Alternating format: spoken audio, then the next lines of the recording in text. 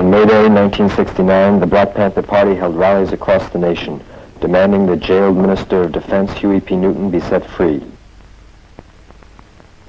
On the original May Day in 1886, Polish, German, Irish, and Italian working people held the first massive strike in America. Organized in Chicago to gain an eight-hour workday, it spread to all the major industrial cities, and on May 1st was supported by hundreds and thousands of working men and women. But the millionaire rulers of America were determined to crush the people. Armies of city cops and hired goons shot them down in the streets, and the strike leaders were arrested, tried, and hanged.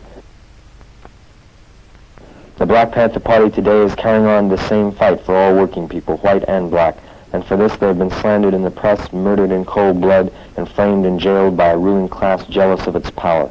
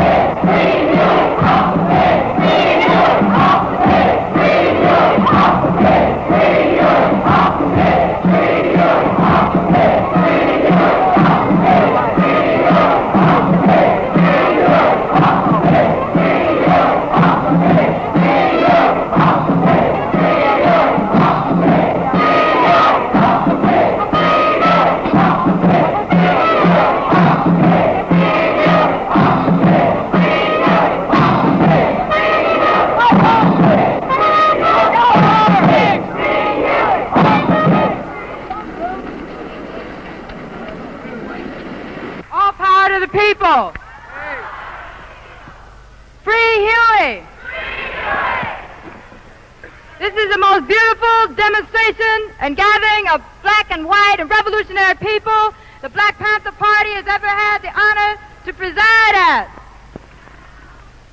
All power to the people is becoming a reality because the people have come out here to stand for hours, to stand if necessary for days in front of these pig court buildings to demand that Huey P. Newton be set free.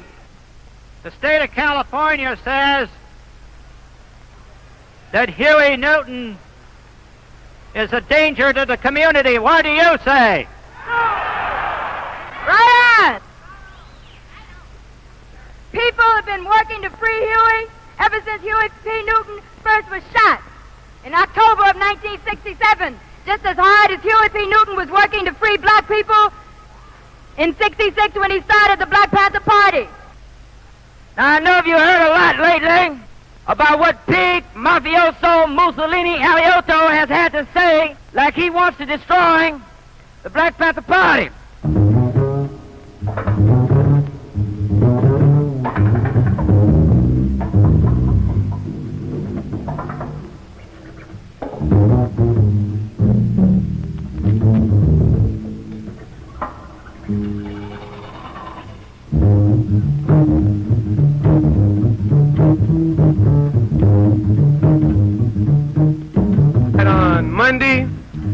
Of propaganda going on for today.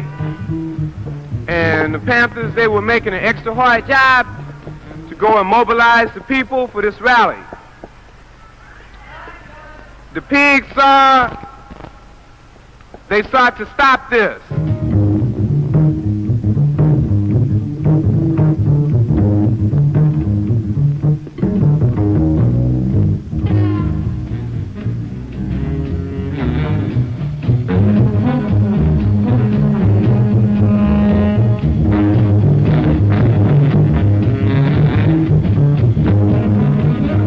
On the loudspeaker, and this is what he said. Everyone in the Panther office, come out with your hands up and leave your guns. We don't take orders from pigs, so we didn't do this. By the time we got out the back entrance, there was about four pigs waiting for us at the gate. The tear gas affected us so bad that one of the sisters, she couldn't see where she was going and she was falling. So the field marshal grabbed her and he was holding her up. The pig said, God damn it, nigga, I told you to get your hands up against the motherfucking wall. So the field marshal said, I'm trying to hold his sister up. She's about to faint. When he said this, I don't know the pig's real name, but the Panthers called him Big Red. Big Red turned around and leveled his M16 at Don Cox's head and fired about five rounds from a fully automatic weapon. The bullets went through his hair and bounced off the wall.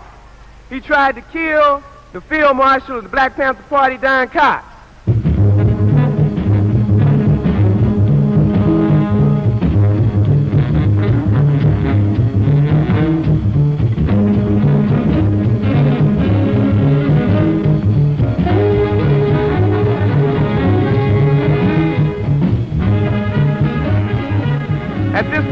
About 2,000 people on the scene, and the pigs started firing their Thompson machine guns and their M16s over the people's heads.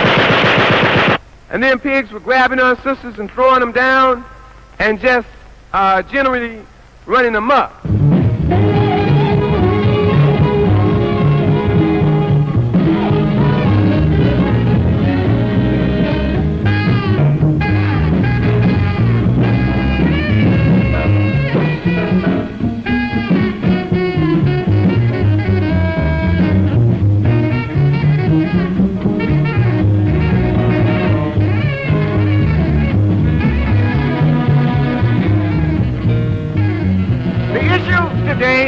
Centers around the invasion of fascism in our land. Well, the Black Panther Party and black people and Mexican American people and all people are saying there will always be Huey P. Newton and the Black Panther Party as long as there's black people living in existence. Right on. Free Huey! Oh, right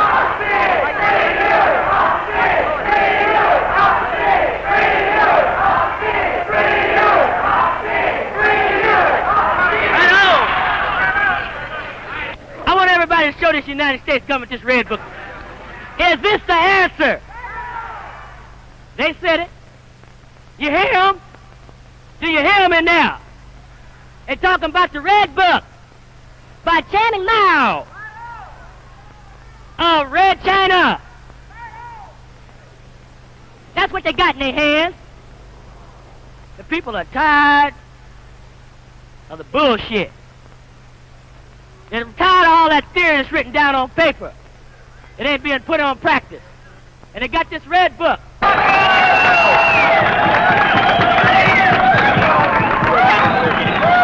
In the papers this morning, they're saying that the Black Panther Party is subversive. Well, this is all the Black Panther Party has to say to all those pigs in the power structure.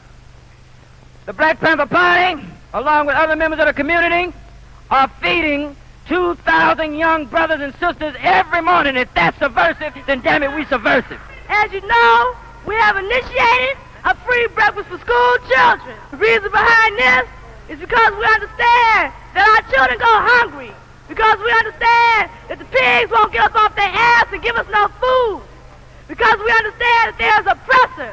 The Black Panther Party says that we're going to serve these children. We're going to feed them every morning. They get a full meal, grits, bacon, toast, eggs, everything they need for the whole day. Right on. We need the people's support. We need your actions. We need your money. We need your donations. We need your time. The breakfast program is a program for the people and by the people.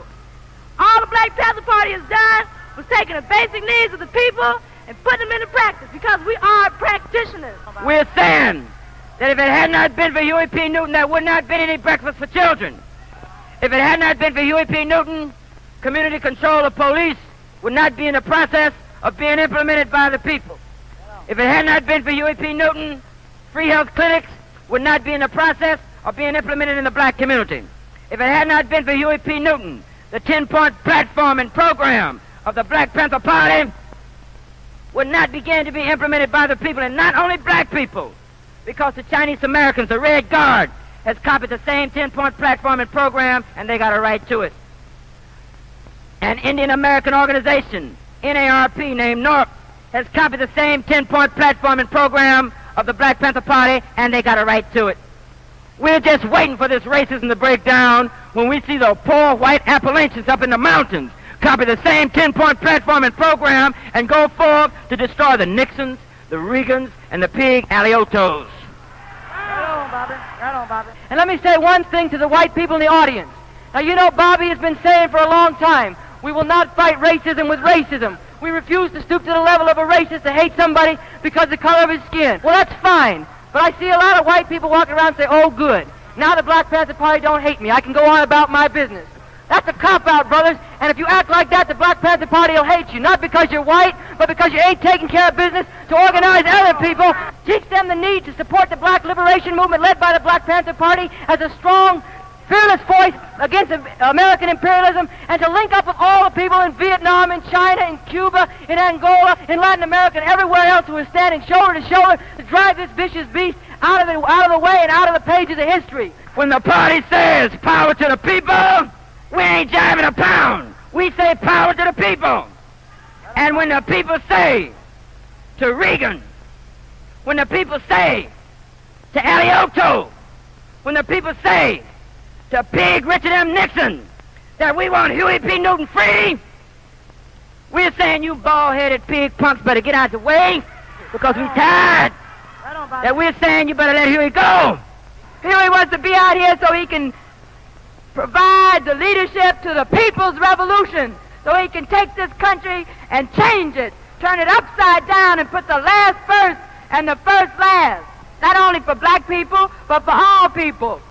So everybody knows that all the people don't have liberties, all the people don't have freedom, all the people don't have justice, and all the people don't have power, so that means none of us do. The only way we're going to get some freedom, and the only way we're going to get Huey P. Newton free, is to understand where we, the people, are. I want you to repeat after me. I am. I am a revolutionary. A revolutionary. They have never lacked the Black Panther Party standing up and saying we're revolutionaries and practicing revolutionary action. They have never lacked the Black Panther Party standing up and proving through social practice that we're not racist, but proving that they in fact are the real racists. They have never liked the Black Panther Party, saying that we want some socialistic programs implemented in the black community so we can survive and be free. They have never liked the Black Panther Party and the people talking about we want some community control of police. They have never liked the 10-point platform and program of the Black Panther Party. They have never respected Huey P. Newton, but we respect Huey P. Newton. We love Huey P. Newton. Right on. We love all our people. We love all our people. We love our people so much that if the pigs attack us, we're going to defend ourselves rightfully with guns and force. And that's our message to Pig Alioto and Richard M. Nixon's America. Thank you, and free Huey!